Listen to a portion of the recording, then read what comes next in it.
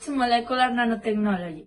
Today I'm going to explain to you what is it. The definition of molecular nanotechnology is the molecular manufacturing with its techniques, its products and analysis. Yes, the first time we heard this, our expression was the same as yours now. Like, what the hell is it?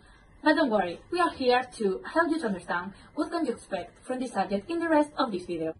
To make you understand this subject better, we are going to give you as an example one of the molecules that we have made before in the laboratory. This is one. Molecular of this. Mercury!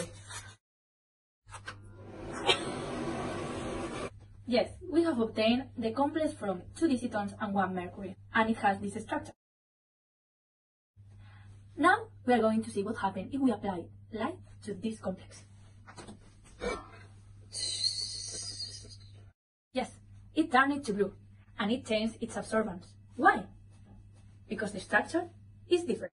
Now that you know how to make this interesting complex, the possible applications are only in your imagination. What about makeup that changes its color? Orange at night? Louis light? Or clothes? How about cars? Fun, isn't it? Science fiction can come to real life when you know how to design and create molecules with different properties. Who knows if you can create another Marvel character?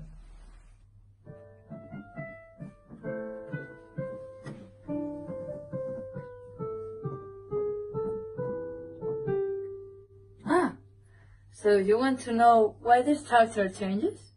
So go to your lectures and you will know.